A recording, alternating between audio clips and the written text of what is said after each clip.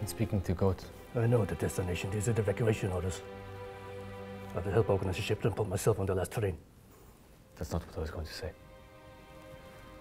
I'd made good promise to put in a good word for you. Nothing bad will happen to you there. You will have special treatment. The director's coming in from Berlin mentioned special treatment more and more often. I'd like to think that's what you mean. Preferential treatment, all right.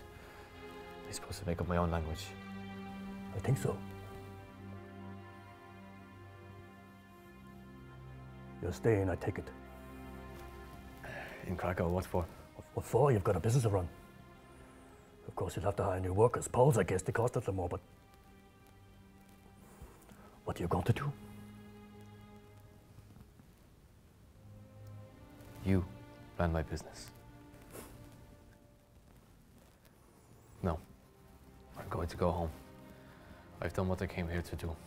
I've earned more money than any man can spend in a lifetime.